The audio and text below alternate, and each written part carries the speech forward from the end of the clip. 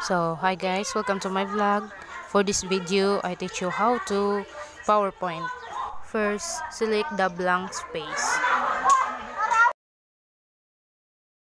So guys, you can select in the top of what you want to use.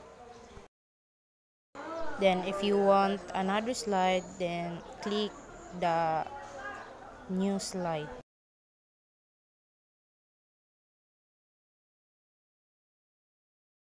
Then now you can create a PowerPoint. For this slide, you can type your title like background. You can bold the letter if you want to bold the, the letter, change the color or some or something can change your font size and font style.